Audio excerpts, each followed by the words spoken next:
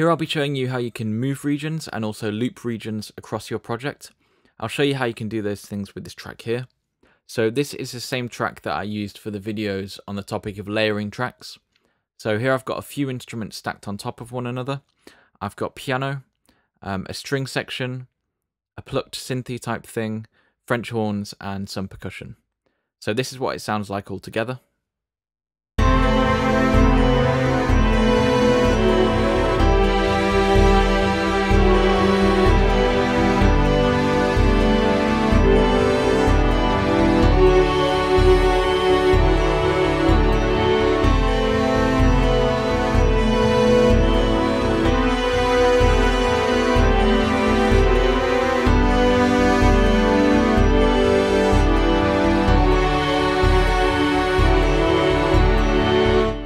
So just a quick thing for demonstrable purposes.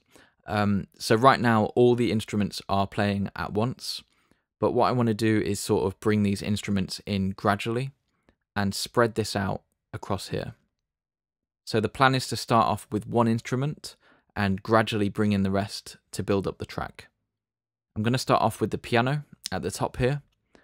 And what I want to do is just repeat this section seven times. So play through this seven times. Um, if I solo the piano, it becomes a bit clearer for you to see alongside everything else.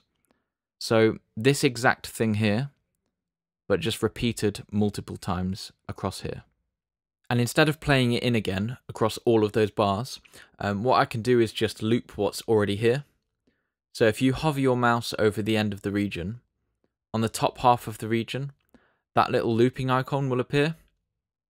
And then what you do is simply left click and hold and drag to the right. So as I drag it, you might be able to see where the loop begins again. See there's little dips in the region. And where it says repetitions, that tells you how many loops of this region you've got. So I'm going to drag this all the way over here. So I want seven, and that's seven. So I'm going to leave that there. And so simply what I've done is get this first section of 16 bars and I've replicated that all across here. Now notice these notes, the looped notes are slightly faded. So you can't edit the loop notes, you can only edit the original ones. Be aware that any changes you make in the original region will get copied automatically across all the rest of the looped regions.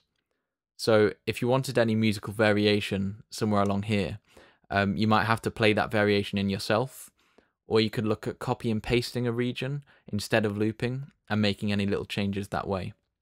Um, looping is for when you just want to have straight repeats of a particular section.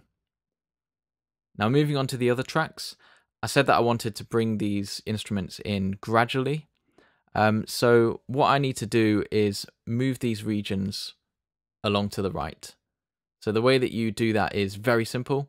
Um, you just click and hold on a region and drag it to wherever you want it to go.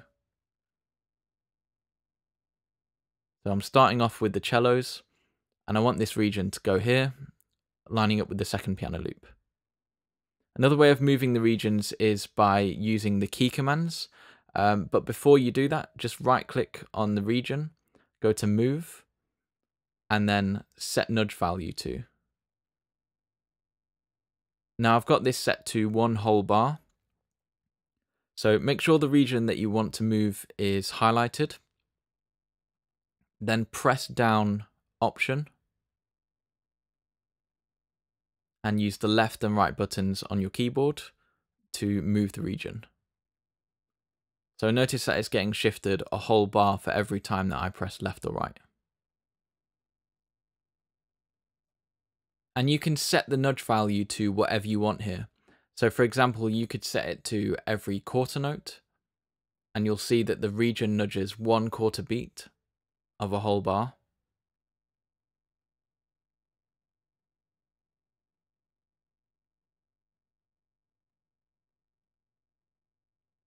So you've got lots of different options there.